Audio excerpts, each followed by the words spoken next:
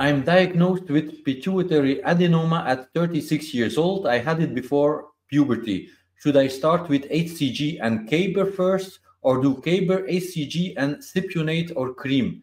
I'm also obese. Just your opinion on it, please.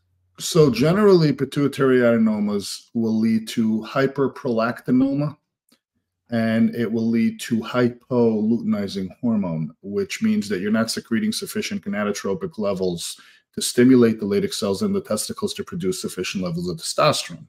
And if that's the case, and that is why you're hypogonadal, first and foremost, I imagine this was diagnosed via MRI.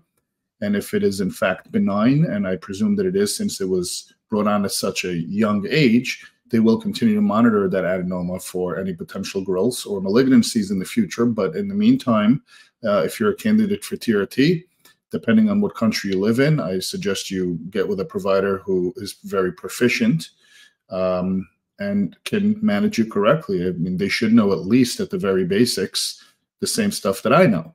And uh, if they understand that, then they should be able to manage it correctly. As far as the mode of administration, again, that is up to you and your provider once they've given you full uh, information on you know pros and cons of each method.